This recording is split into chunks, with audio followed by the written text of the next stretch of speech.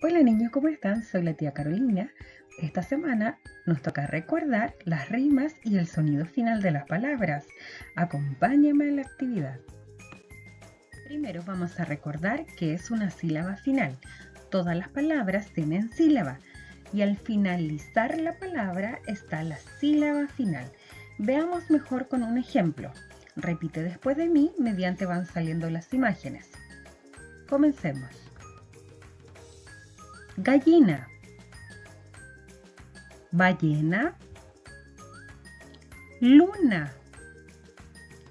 Corona. Ahora vamos a aplaudir en la sílaba final de cada palabra. Yo lo digo primero y te puedo acompañar. Comencemos. Gallina. Ballena. Luna.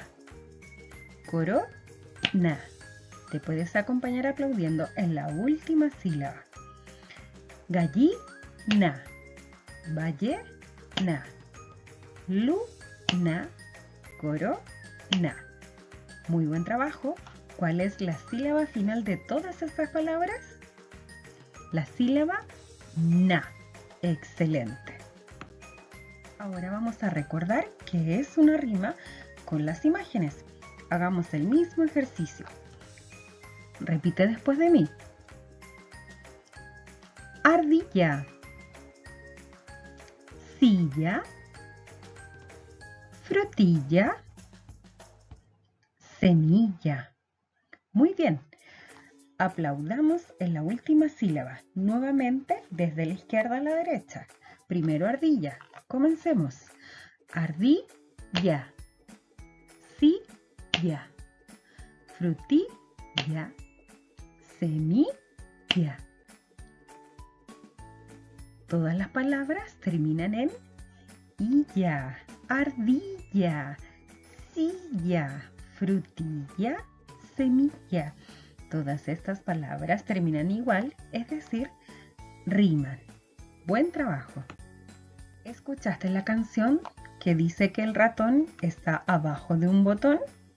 Bueno, si no lo has hecho, devuélvete y dile a la mamá que te ponga la canción del ratón que está debajo de un botón para que podamos continuar con la actividad.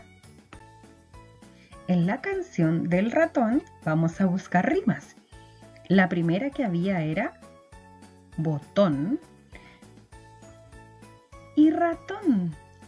Botón, ratón. Ambas terminan en ton. Te voy a mostrar dos elementos cajón y bastón. ¿Puede decirme cuál de estos dos elementos, cajón o bastón, riman con botón y ratón? El ratón, botón. ¿Rima con cajón o bastón? ¿Ya lo sabes? Veamos si acertaste. Muy bien, podemos incluso hacer una frase. Bajo del botón que había un ratón y tenía un bastón.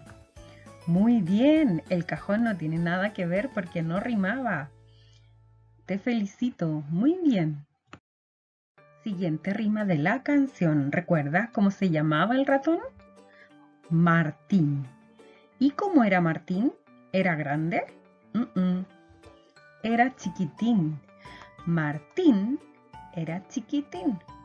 Vamos a ver si me ayudas. Te voy a presentar estas dos palabras. La primera es volantín y timbre. ¿Cuál de las dos palabras riman con Martín, chiquitín? ¿Será volantín o timbre? ¿Ya sabes la respuesta? Veamos si acertaste. Martín, que era chiquitín, elevaba un volantín. Excelente, muy bien. Felicitaciones. Acertaste con la palabra que rima. Muy bien, ¿qué recordamos el día de hoy? Recordamos las palabras que tienen la misma sílaba al final y también las palabras que riman. ¿Cómo deben ser las palabras para que rimen? Deben sonar igual. Deben tener la última sílaba igual todas las palabras. Muy bien, ahora hazlo tú. Busca tu libro semilla en las páginas que te anoté en la lámina para que puedas completar y unir rimas. Yo sé que tú puedes. Ten mucho éxito. Nos vemos.